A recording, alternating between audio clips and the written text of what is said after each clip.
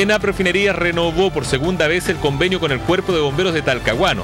El compromiso es entregar combustible a tres compañías de la ciudad, abasteciendo un total de cinco carros.